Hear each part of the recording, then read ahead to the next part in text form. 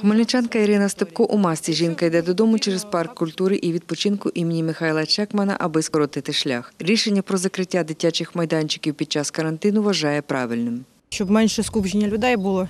Адже в парку зараз гарна погода, стараються всі вийти погуляти. Я вірю, важко вдома сидіти. Але є справи, я, наприклад, сугубо пройти, щоб мені швидше було, якби я прямую додому, тому що зараз потрібно сидіти вдома.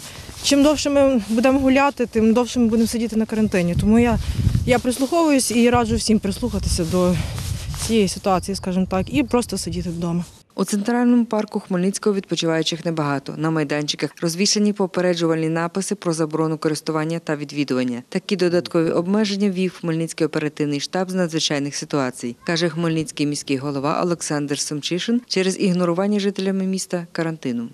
Встановлено обмеження для пересування людей вулицями. Е, Рішенням оперативного штабу визначено е, дві особи, які можуть пересувати вулицями, якщо це не одна сім'я. Заборонено виходити на вулицю самостійно дітям до 14 років, ну і дітям від 14 до 18 років без дозволу опікуна або батьків. Е, Ввечері фактично ці рішення наші були підтверджені постановою Кабінету міністрів. Олександр Семчишин додає, міське управління житлово-комунального господарства має обмежити доступ жителів міста до ігрових та зон відпочинку обласного центру.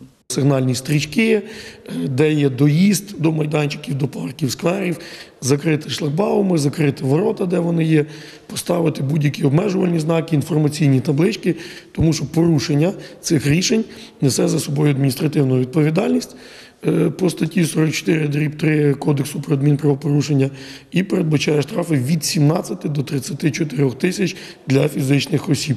Ну, ми людей повідомляємо, що вони такий спосіб, порушуючи карантин, наражають себе на дуже великі неприємності. У мікрорайоні Дубове вже закриті чотири загороджені спортивні майданчики, розповідає директор комунального підприємства управляючої муніципальної компанії Дубове Олександр Забурмака. Я е, хочу людям сказати, хай вибачають за незручності, що є в нас е, така ситуація, але ми мусимо позакривати спортивні майданчики. Е, Ми вже їх закрили чотири штуки по ОМК Дубове.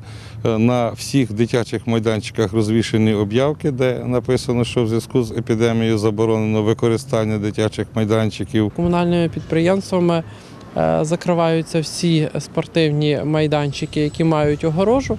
На всіх них будуть повішані замки і всі фіртки будуть закриті. Е, Це понад 10 спортивних майданчиків е, на території міста.